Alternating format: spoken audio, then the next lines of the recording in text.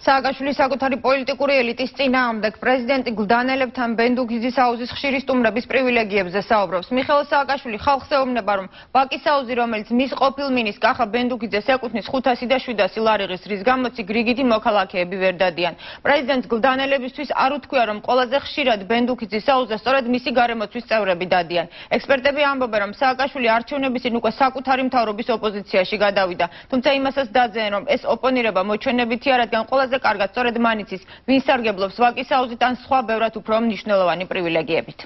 მე როცა ვიყავ პრეზიდენტი მალში საერთოდ იყო აუზი საქართველოში და მე პირველ წელს გაიხსნა ეგრეთ წოდებული არეწყილება იმას ბენდუქიძის აუზი.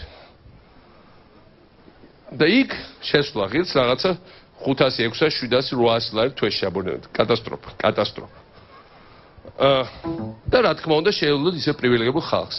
პრეზიდენტის გამოსვლამდე 10 დღით ადრე მთავრობის პრივილეგიებზე აუზზე და აუზგარეთ კინომცოდნე გოგი გვახარია წერდა. გვახარია წერს, რომ ის მთავრობის წევრებს თითქმის ყოველ დღე ხვდება, რომ გასახდელში ჩინიანებიც და უჩინონიც ერთნაირები არიან, თუმცა აუზიდან გამოსვლის შემდეგ შავჯიპებში ხდებიან.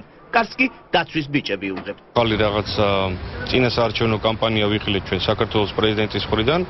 ეს არის პრეზიდენტის საკუთარი მთავრობის ოპოზიციაში. ფოთაშორის ვაკისაუსში თუ აინტერესებს ვინ დადის, მთელი მთავრობის შემადგენლობა ძალიან სერიოზულად სარგებლობს ვაკის აუზით და ერთ-ერთი ნამდვილად ელიტარული აუზია, სადაც თუ ვინმეს ნახვა გინდა მთავრობის ელიტიდან, იქ შეგიძლია ნახო.